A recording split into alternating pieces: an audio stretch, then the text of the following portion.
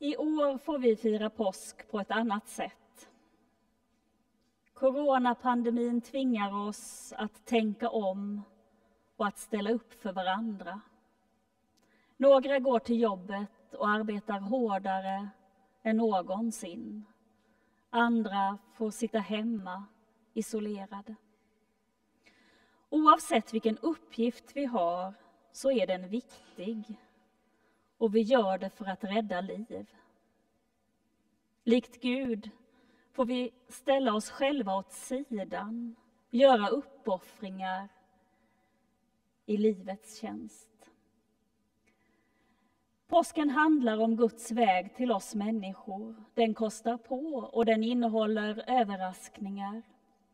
Ingen av dem som stod nedanför korset kunde ana vad som skulle hända.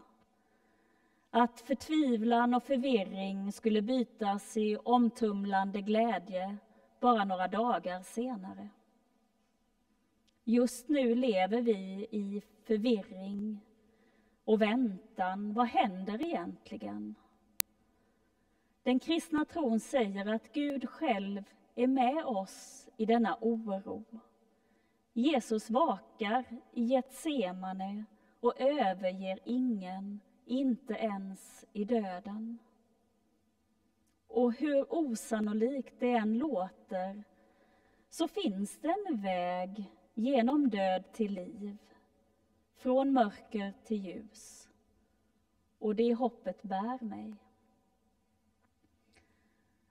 Den här påskens gudstjänster från domkyrkan i Göteborg kommer vara väldigt annorlunda. Kyrkan kommer vara nästan helt tom.